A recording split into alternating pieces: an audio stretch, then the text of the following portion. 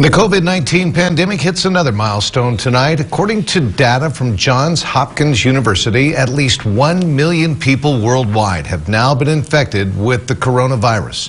The United States now surpassing other countries with the worst outbreaks. Around 52,000 people have died worldwide, more than 5,000 of those victims here in the U.S. Johns Hopkins says more than 200,000 people have recovered from COVID 19 around the world.